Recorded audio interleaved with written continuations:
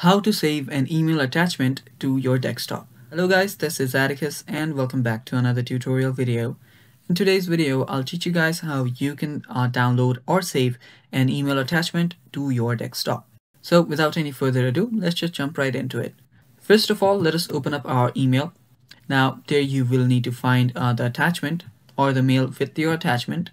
So head over to your Gmail and let's say that I want to download this. Now to download it, open this up first. After you open it, you will see the download option on the right hand side. Tap on download. Now it will directly start downloading. Now you can head over to your uh, downloads, wherever you downloaded it. Now from here, you can simply copy this or simply cut this, right click on it, and you will see the cut option. Tap on cut and head over to your desktop. Now you can just find the desktop here, head over to your desktop and simply control V or you can just right click on it and tap on paste. If you don't find the paste option, simply control V and you're good to go. So let us check if it's done. So uh, let's find it.